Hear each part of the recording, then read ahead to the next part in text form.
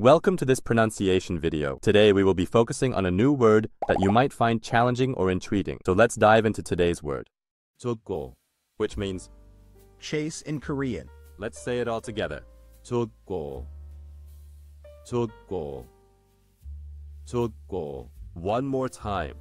Jjotgo. Jjotgo. Jjotgo. Thank you for joining us on this adventure in pronunciation. Remember, language is a journey, not a destination. Keep exploring, experimenting, and expanding your linguistic horizons. We'll see you next time.